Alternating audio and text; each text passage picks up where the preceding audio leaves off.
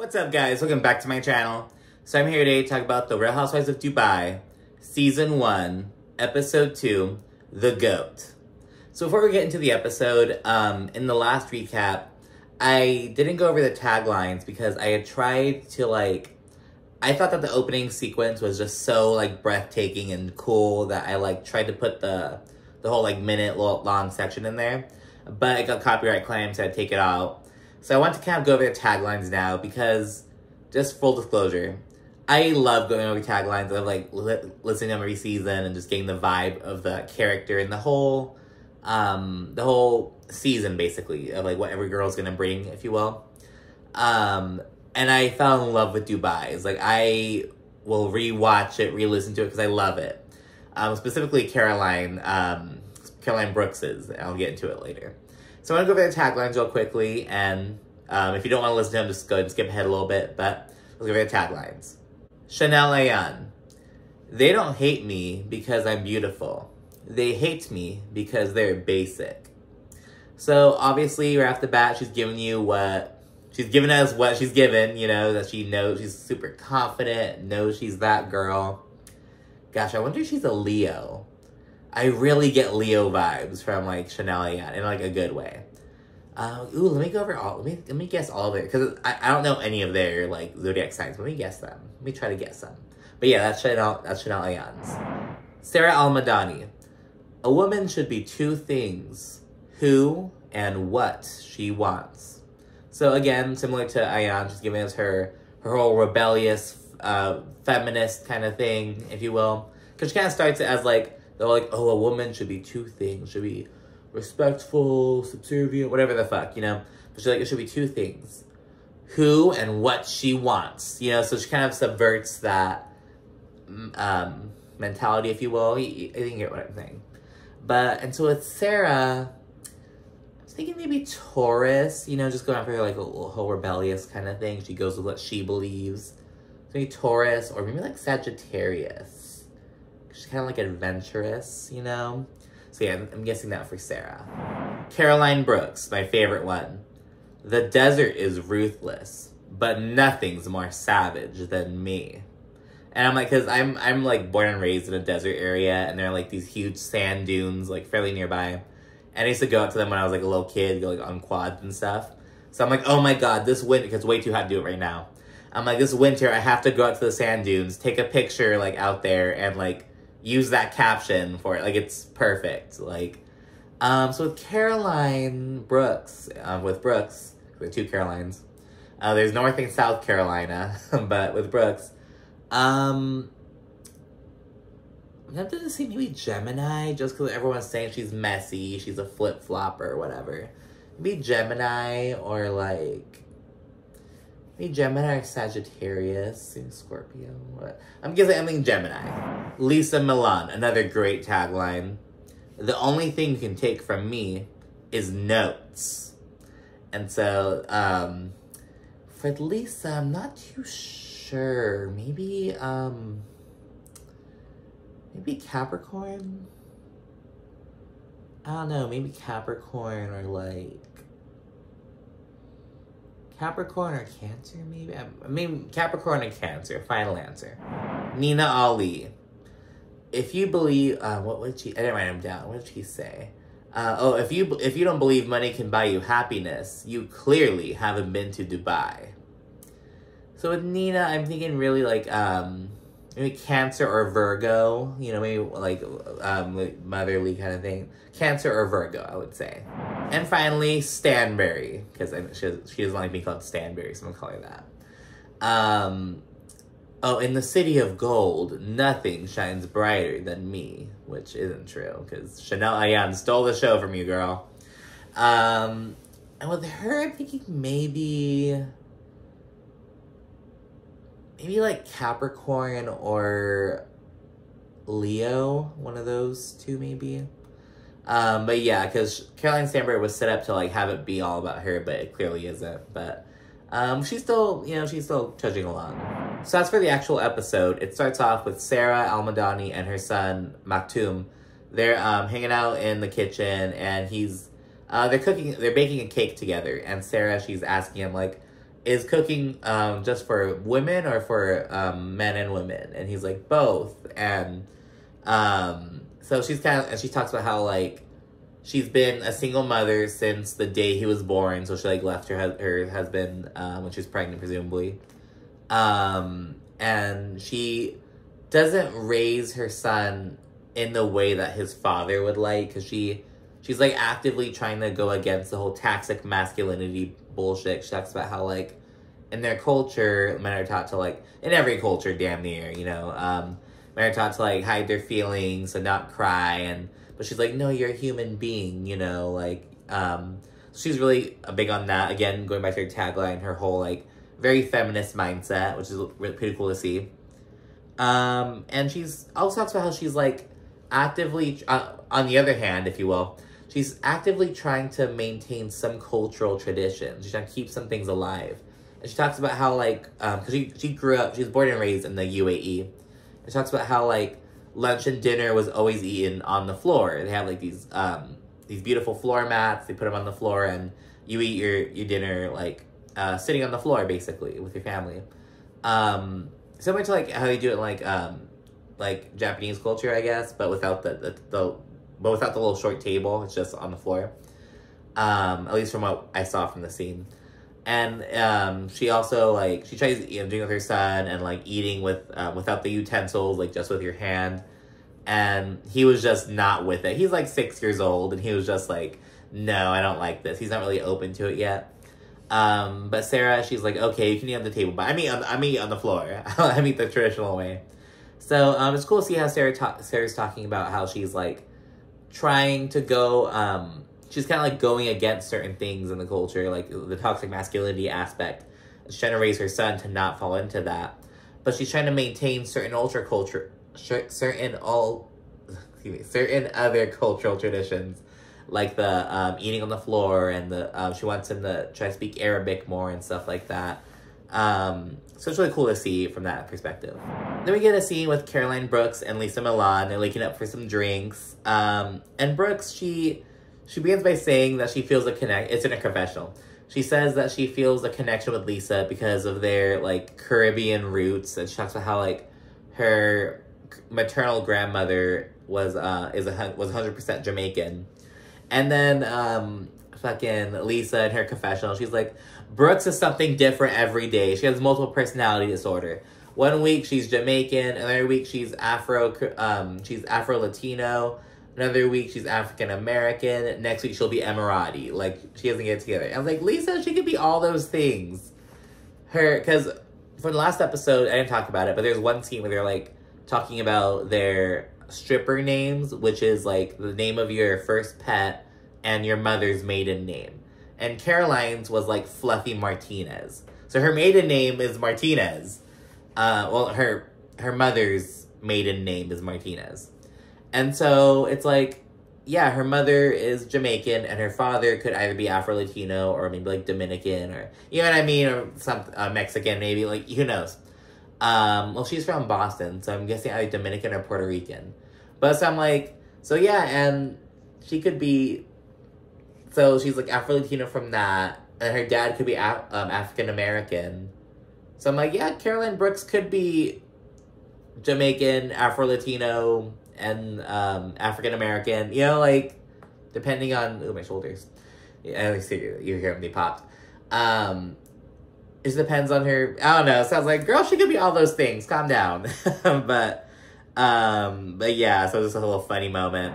Shortly thereafter, Brooks goes on to talk, basically being shit talking Nina Ali because um, Nina posted something on Instagram essentially where of her and Caroline Stanbury, and she was like, "Every blonde needs a brunette best friend. Every brunette needs a blonde best something along those lines."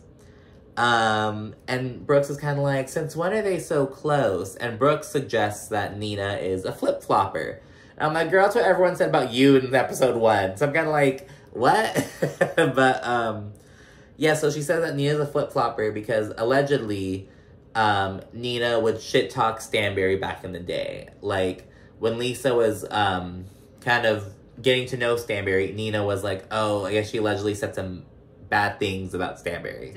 when Stanbury was trying to befriend me, Nina would warn me to be careful of her. And to be honest, some of the things that she said were so horrible. I won't even repeat it. Um, she's ghetto, she's ratchet, she's trashy. Those are the good things. All the things that I'm saying are the good things.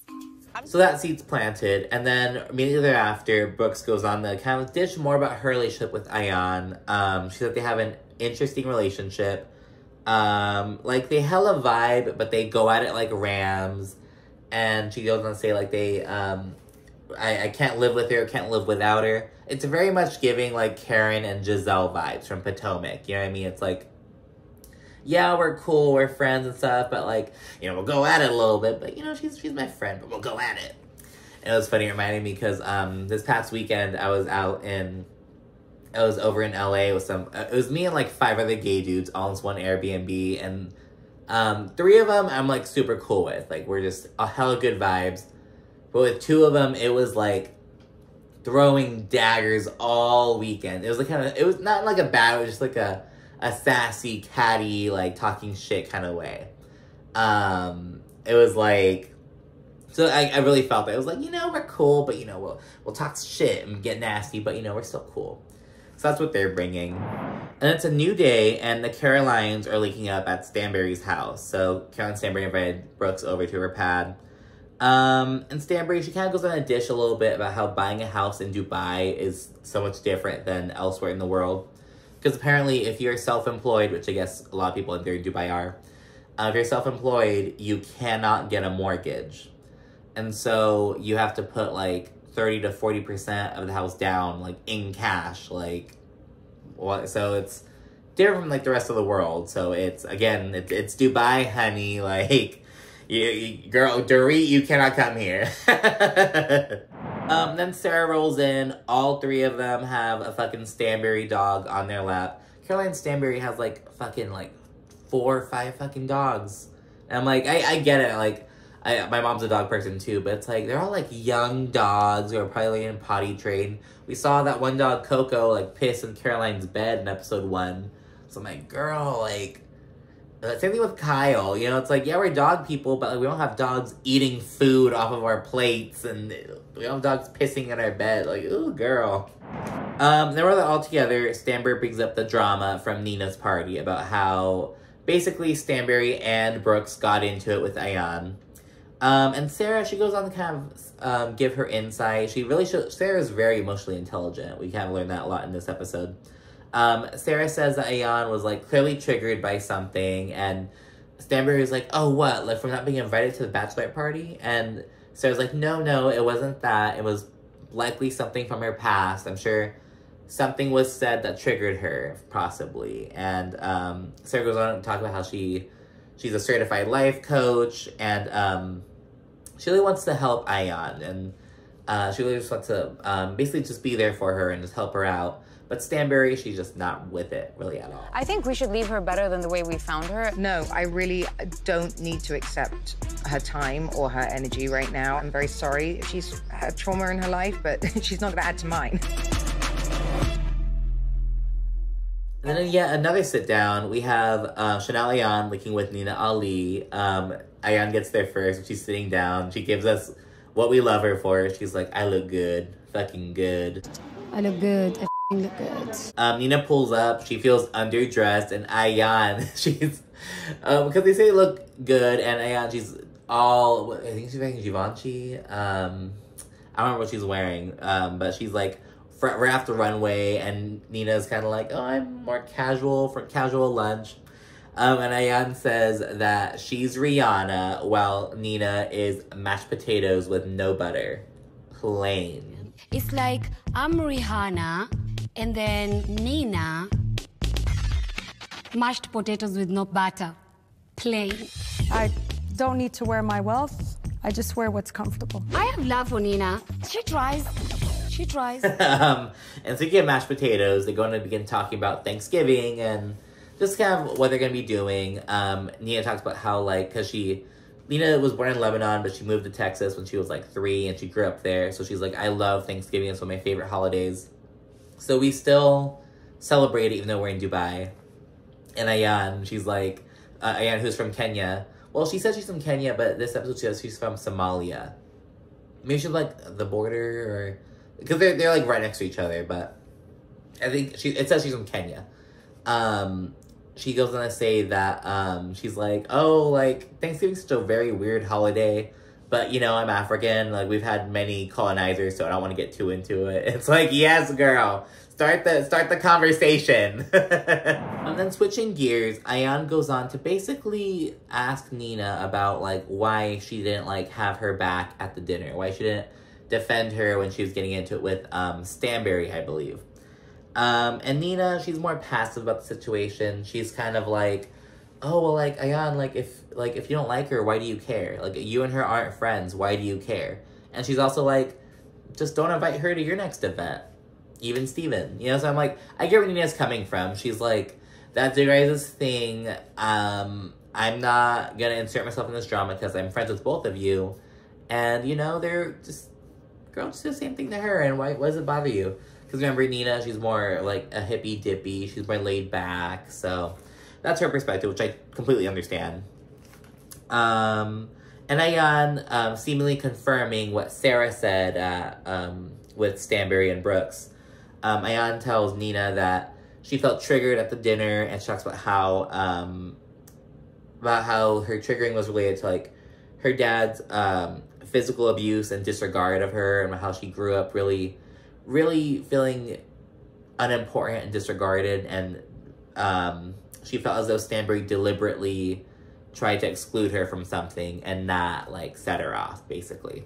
So we really see as Sara's around the money when it comes to like her reading of the situation. And similarly, Nina goes on to address what um, Lesa and Brooks were talking about, about how at first Nina really didn't like Stanbury. She was like, she wasn't my cup of tea. I didn't really like her that much. And Ayan's like, oh, I know, you told me. So apparently, I, guess Nina may have been a little bit of a shit talker, like when she didn't like her. But you know, that's that's what happens. If you don't fucking like someone at first, you think they're a bitch and stuff. But I'm like, well, girl, what did you say? Like, how much shit were you talking? But you know, we don't know this. We don't know at this point.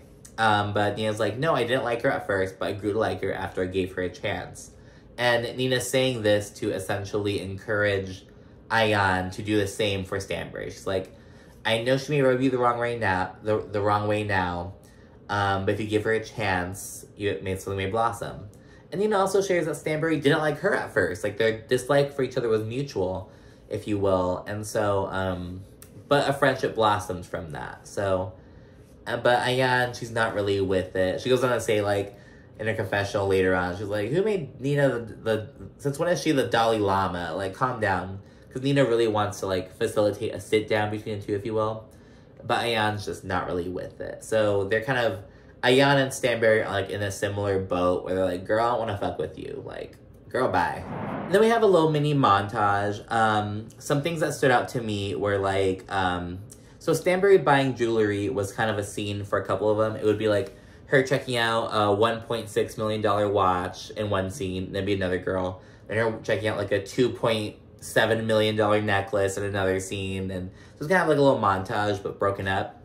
Um, but towards the end of it, so again, it's her just checking out these fabulous pieces of jewelry. And then um, with the last little scene, it's her and Sergio. Sergio's with her, and he like gets really emotional. He starts like crying and tearing up and stuff. And Caroline's like, "Oh my gosh, like I can't believe I'm marrying you." Like in like in the sense of like I'm just such a cold bitch. And you're so emotional, and it's just and hot, and it's like, ugh.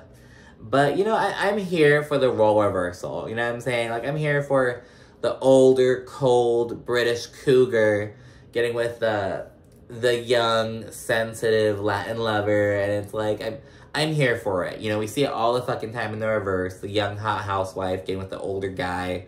But it's like, no, we're seeing the reverse, and I'm here for it. Do you, Sergio? I'm here for you.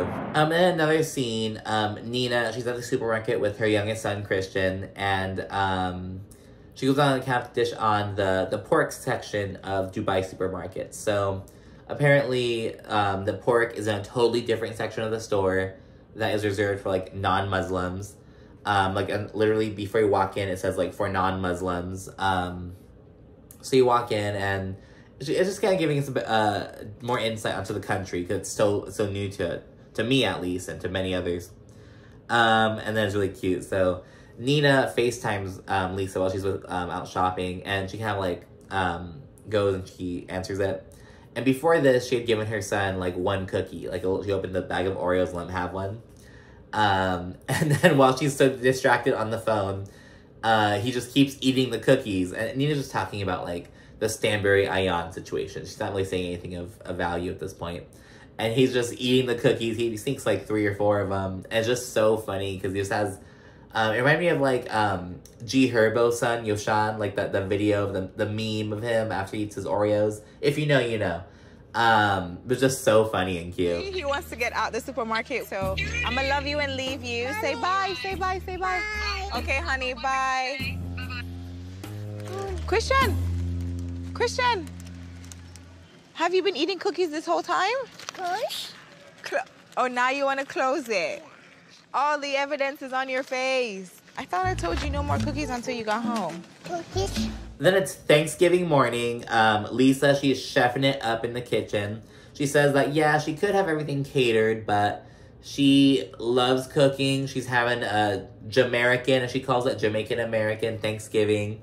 And she loves cooking. Her family loves her cooking, and so she's she's in the kitchen by herself doing it, which I love. You know what I mean? It's the whole like, yeah, I could pay for it, but I this is something I want to do. I enjoy doing this, and I frankly I know how to do it better. You know, so I love that for Lesa. Um, Nina, she's going a different route. She's having a Thanksgiving. It's really cool. So it's on this like Ferris wheel, basically. It's like this huge like luxury like restaurant kind of thing, but you're dining in this like Ferris wheel, but it's it's not like shaking all crazy or anything. It's I don't explain it. It's like a smooth Ferris wheel where you're just eating with like a rotational view. I would hate that though. Oh my gosh, like I get nauseous. I don't know without moving. But anyway, that's what Nina's doing. Um, Sara and her son are there too. With the, uh, they invited them, and they're having a traditional Thanksgiving meal with uh with a Dubai twist. And rather at dinner, we learn more about Nina's husband, uh, Munaf. Um, he was a banker who turned into a hotelier. He got into hotel chains, and he eventually sold his businesses and got into crypto and Bitcoin, all kinds of shit like that. So that's what he's into. I was- I'm like, okay, man, do your thing. Um, and we also learn oddly, so he met, so he's from Dubai, and remember, Nina is from Austin. And they met through Nina's cousin's brother in law. So essentially, Munaf saw a picture, uh, I hope I'm saying his name right. I didn't, I didn't hear anyone say it, I saw it written. Um, he saw a photo of Nina and inquired about her, and that's how they got into talking. Um, and then he wound up eventually flying from Dubai to America every two to three weeks, which is a major time zone switch. Like I just recently looked this up. Like to get from to get from LA to uh, Sydney, so just scaling the Pacific Ocean, it's like a 15, 16 hour flight. And I'm like, oh my god. And Dubai is like even more like on the opposite end because like past the Pacific and like the Indian Ocean. You know what I mean? Um, or the entire Atlantic Ocean and Africa and the Middle East. So it's basically on the other end of the globe, if you will. It's like holy shit! Every two, oh my god. Um, but you know it's probably not that bad when you're taking when you're that rich. You take luxurious first class red eyes and sleep in a comfy bed. Like it's probably not that bad. Um, but it was kind of creepy almost. Like the whole like yeah, I saw a picture of me and asked about me and eventually fly. Like, I don't know. It was kind of weird, but I don't know. Maybe if maybe it's the kind of if you know you know kind of thing. I don't know. I was kind of like, oh, it's a weird story. Um, but anyway, then Sara in turn, she also kind of dishes more about her past relationships. Um, she has she has been married married and divorced twice, and she described herself as being a fixer in toxic relationships. So that's that was her kind of uh, that was her downfall, if you will, in her relationship and her relationships at least. Um, but she says, despite being divorced twice, she still believes in love. You know, when she sees her mother and her father in their relationship, she's like, you know, I could still get married, could still have my fairy tale. And so Sara's really going for um for that. And her parents support her and everything she's doing, but they are kind of worried about like the the the social ramifications, like the the judgment from others, that kind of thing. But the parents are really open minded and cool with it. It seems so. Um, that's really cool for Sara. It's a really. It seems like um, she's in a really open minded family, and it's really cool seeing Sara really pave her own way and be a trailblazer in terms of like doing her own thing, but while also trying to keep the culture alive of certain things. So I really admire that of Sara, to be honest. Um, then elsewhere, it's a little bit later um, in the evening. Um, Ayan, her husband Chris, and their son Taj, they all arrive up to Lesa's home um, for a, a late Thanksgiving dinner. And they brought a fucking baby goat. and um, Chanel, uh, Ayan eventually explains that, like, oh, it's, um, in my culture, you know, goats are very important to us. You know, if someone gets married or engaged, you give them goats. And she kind of talks about how she wanted to give Lesa something very meaningful because um, Lesa's just really been there for her. And so you really see the duality to Ayan and where she stands on certain things because she felt really betrayed by Nina for not standing up for her with Stanbury. But Lesa, who has her back, Ayan just pours love into her. She's like, You have my back, and I love you for that. So um, you always see her standing on how she operates, if you will. She rides for me, I ride for her so hard. She's always there for me. Like she's got my back, and that's something that you don't buy. She just loves me, and I love her. Ayan goes on to speak on her husband Chris, um, and she kind of talks about how he he taught her how to love. Um, they met like when she was she was like eighteen years old. Uh, I think he was he he was like maybe like a little bit older, but not not like crazy older. Um, they met like when they're really young, and they've been together since nineteen ninety nine. Married for twenty plus years at that point. Um, and their son he's like 14 so they're married for a while before they had a kid too so and he talks about how like um you know she she just makes him laugh and he loves it and he taught her how to love and taught her what true love is and just such a beautiful relationship it seems. Um it really seems like it's like he is reserved in, he's like he lets Ayan steal the show and lets her be herself while supporting her if you will. It um it was really it was really cool dynamic. I really liked it. Um, then sideline, the goat who's just kind of out roaming in the backyard. He falls into the fucking pool, and the young son has to go rescue it out, and so it was like a funny moment. Um, then immediately thereafter, Ayan proceeds to talk to Lesa about how again how she felt like Nina didn't support her at the dinner. Um, she kind of feels like Car- that uh, Nina is siding with Caroline Stanbury. Like Lesa points out to Ayan that like oh, well, Nina's closer to you than with Stanbury. And Ayan's like, well, she's not acting like it. She seems like that's not the case anymore. So she really feels with that. And she really just does not want to have a sit down with Stanbury. So she's very anti Stanbury and she's kind of going into anti Nina because Nina's getting a little too close to Stanbury for Ayan's liking. Um, then later on, they find out that the goat like ran away. It like slipped through the fence. It was like, girl, I'm out. It, it heard what fucking Lesa said about being cooked, and it was like, girl, I am out. So, so that was really a little funny end to the whole scene. And then for the last scene of the episode, um, it's another day, and Ayan is going over to Sara's house, and it was really cute. So Ayan she pulls up with a basket of onions and she's like, Oh, because you have layers, like here's some onions.